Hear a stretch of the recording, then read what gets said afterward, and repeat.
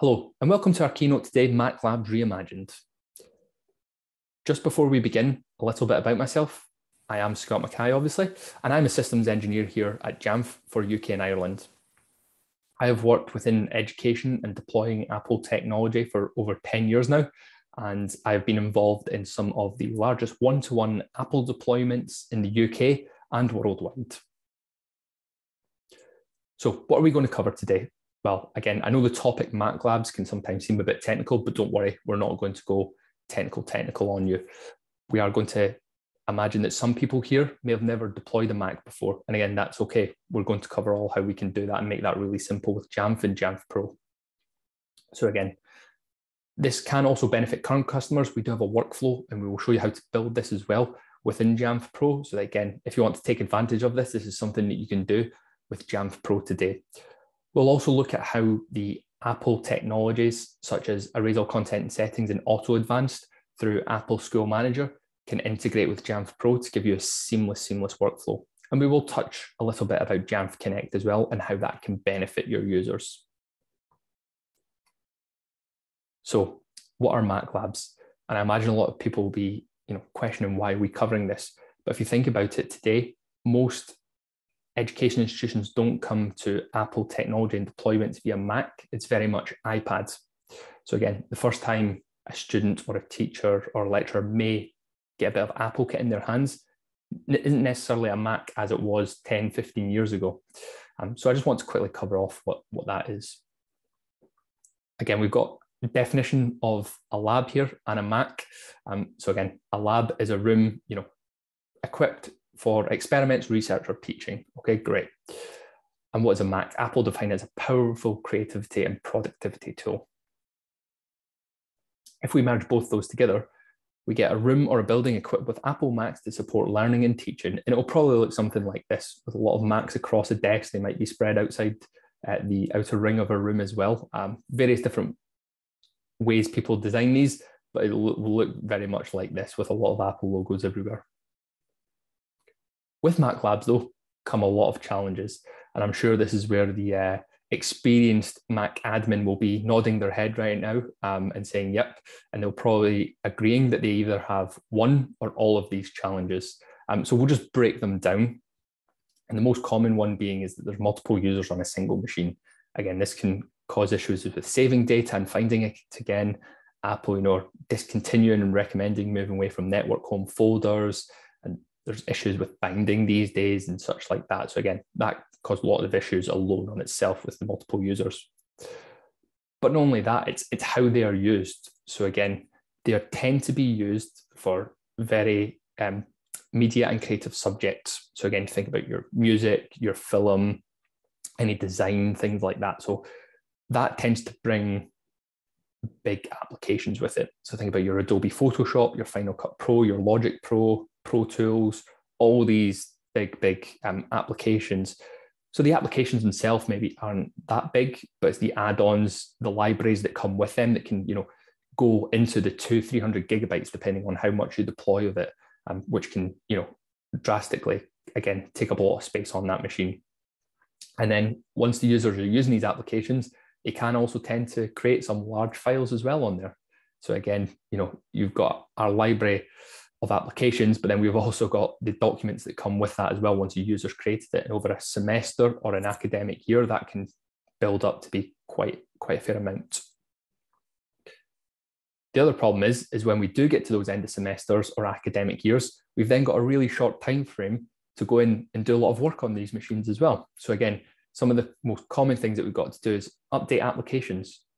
Um, so again, you know, is there a new version of Photoshop maybe, or Logic Pro, Final Cut Pro, or Logic Pro Tools? Again, updating all these applications that may be required and getting it ready to deploy again and make sure it works.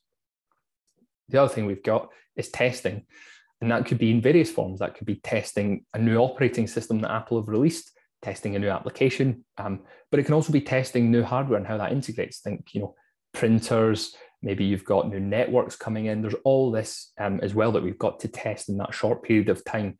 While it doesn't drastically affect the day-to-day use of the machine, it could impact, you know, a learning or teaching environment very quickly. And then we may also have redeployment. So we may be moving Macs to a different room. So maybe they were in, you know, a music recording studio, but they're now going to a drama studio, for example. So they need to be set up in a different way. And it could be that the machine is now end of life and we're, you know, taking it out and bringing in a new one. And these all cause challenges as well. Um, and time that again, we've got a very short window at the end of an academic year or end of a semester to cover that off. So how can Jamf help with all these kind of things, large applications, multiple users, the redeployment, the testing. Well, we've got a lot of different areas that we can cover on that, um, but we'll go through a workflow. Um, and really, I know a lot of you will be sitting going, yeah, that's great, but we don't unbox new, new Macs onto our desk every year. So our Macs are already set up, and that's okay because again, um, with macOS Monterey, we now have a new erase all content and settings feature, which we'll show you working later on um, and show you how you can take advantage of that specifically in Mac Labs and how that can help you. We can also integrate with Apple School Manager. And again, that allows you to really simplify the deployment process of that. It brings us features such as automated device enrollment and auto advance. So again, meaning that again, we just need to plug the Mac in. If it's already plugged in, great. We can automatically set it up for you with Jamf Pro. And on top of that, we can then deploy Jamf Connect. So again, the user could just walk up to the machine, it's a customized login window, and the user just has to enter their cloud identity provider credentials. So this might be Microsoft Azure or Google, as we most commonly see in education. So I know that's a lot, but we're now going to go break it down um, and speak about each individual feature, and we'll show you it all working uh, side by side at the end. So just again, well, there'll be relatively new people coming to this and they've never heard of Apple School Manager. So we will break this down for you and, and kind of highlight the benefits of it. Apple break Apple School Manager down into three different areas. We've got devices, people, and content. So the most key one for this kind of topic today is devices.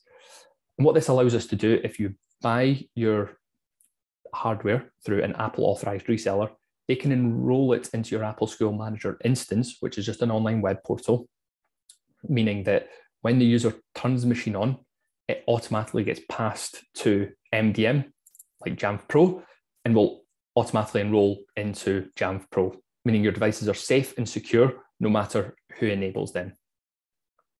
They also have two other areas, people, which allows you to create managed Apple IDs. So that again, in education, you can utilize up to 200 gigabytes of iCloud storage space and content where you can purchase applications and books to deploy to your devices.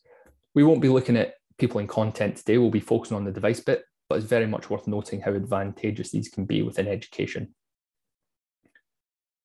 And if we do integrate Apple School Manager and Jamf Pro together, we can utilize that feature that I spoke about, automated device enrollment. Now, I won't read this whole statement out to you, but I think there's a lot of key words here that you can see in bold that speak to a lot of people automation, simplify setup without touching, and it gives you ongoing management. Again, this is key issues that people always come to us and ask how, how can we do these features? What do we do? And this is all under the power of Apple School Manager and Jamf Pro, utilizing automated device enrollment. And we will show you that a little bit later on. And a relatively new feature that actually started with tvOS and Apple TV is Auto Advance. And what this allows you to do is without any additional user interaction, as long as the machine is plugged into Ethernet, the machine can automatically set itself up from the setup assistant. And again, that drastically saves time. But not only that, when we start to add erase all content and settings in, we can erase a machine and get it to automatically self, set itself up without anyone touching the machine, which we'll come on to. And finally, we have Jamf Connect. Again, this makes it really easy to provision account on machine because we can utilize single source for the user, just utilizing their cloud identity provider credentials such as Azure or Google. Again, because we're using that, we can secure the machines through current password policy that you may have there, which is again great, but we can also support multi-factor authentication at the window, at the login window as well. So again, for any maybe university, Mac Labs, that can become a really big benefit if you're trying to utilize things like Cyber Essentials or worried about GDPR.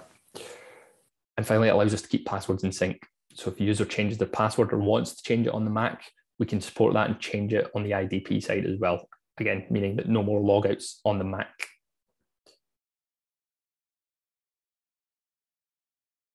So what are the requirements to achieve all of this? Well, of course, we need Apple School Manager to enable us with automated device enrollment. We also need Jamf Pro, that goes without saying. We do need your macOS device plugged into Ethernet, only for the setup though, only for the setup.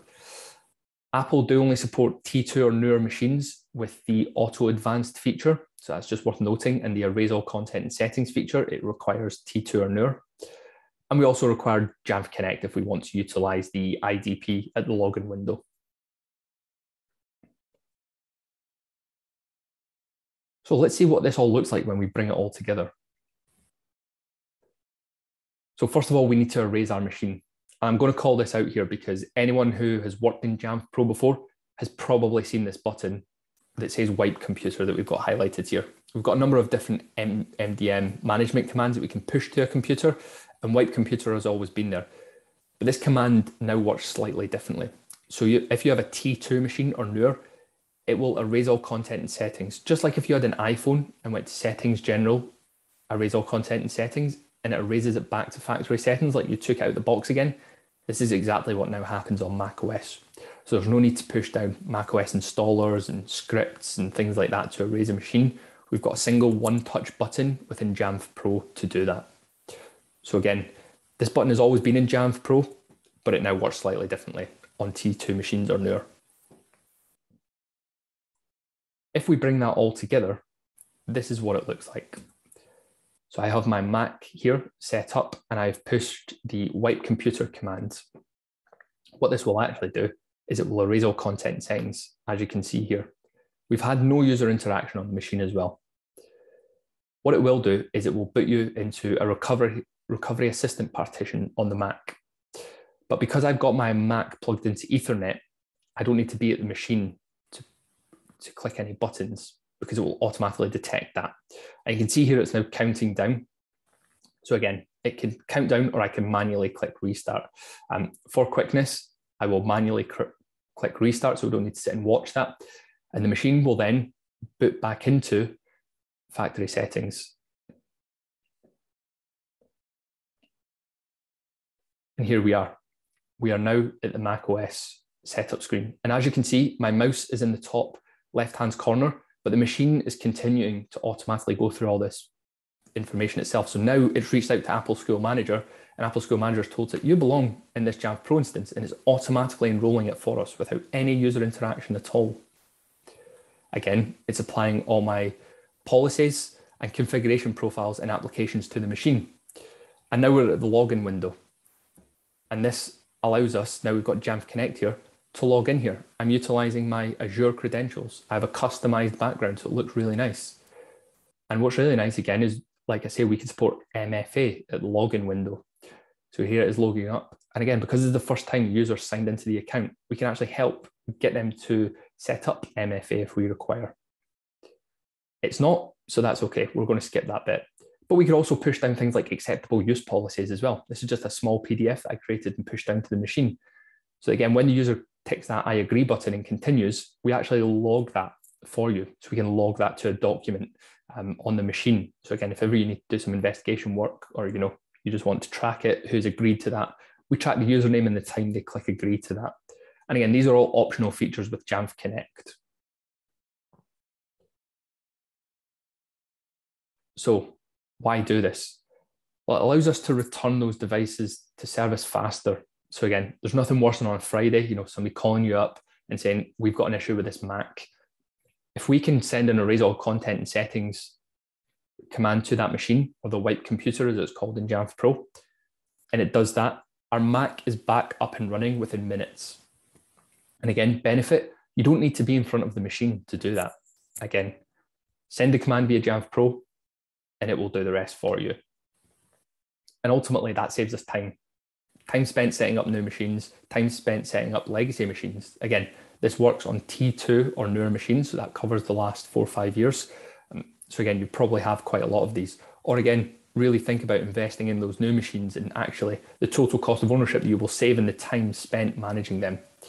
So again, I know a lot of people are, you know, traditional Mac admins. Um, we used to have something called imaging. Um, again, you can boot from a server or you could boot from a hard drive and copy across all these things. This is very similar, right? So don't be afraid to enable this. And this is something that we've been asking for for a long time. How could you help us as Mac admins really make deploying Mac in education establishments easier? And again, you can do this with MacBooks too, right? Again, plug the MacBook into Ethernet for the setup, power it on. Once it's at login window, you can unplug that Ethernet again. Lots of key benefits to doing this, and it will save your users and yourself time. So thank you for listening. If you do have any questions, feel free to reach out to us at the contact page um, and we will be happy to answer them. I hope you've enjoyed this keynote and that you've learned something useful today. We look forward to seeing you soon.